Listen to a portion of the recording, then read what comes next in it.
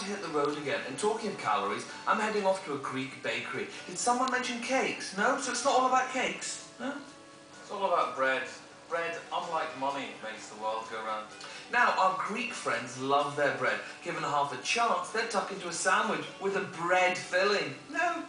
Every meal has a doughy companion, so it's time to roll up my sleeve for some bread making. Bread made with, who'd have thought it? Greek Cypriot olives. The Greek Cypriot olives different. They're just better Okay, than any other olives in the world. right. The Not women are more attractive, the men are more handsome. And Children play better. Football team's great. The beer's delicious. What do we need to do What next? going to put in here? Oil. You're Olive to put a oil, you put oil there. Okay. Olive oil is the elixir of youth. The, the Cretan Greeks hadn't even heard of heart disease till the 1970s when fast food went over to Greek. Before then, they were the healthiest people on earth. And the reason that they were the healthiest people on earth was olive oil.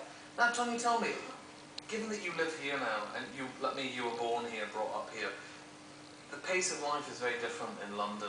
Um, do you find that you still spend the same time just dwelling over a meal, or is life quicker now?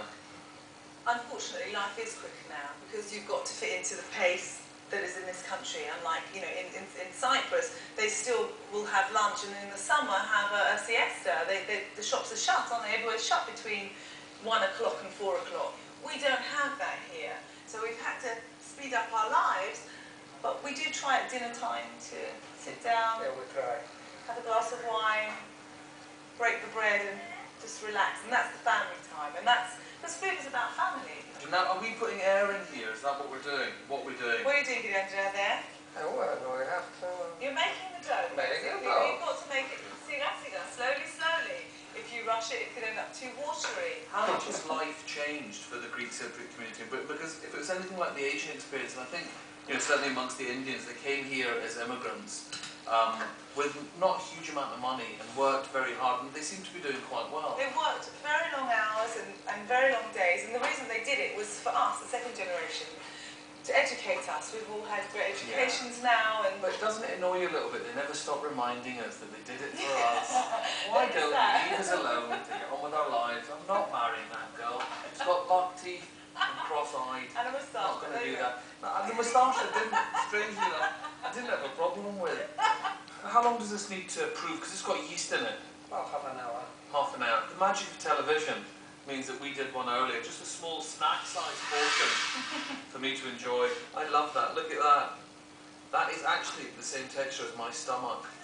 That's the yeast. smells great. smells great. So So, what do you you know, do how do we do this? How do you do your Put a little bit of flour there, so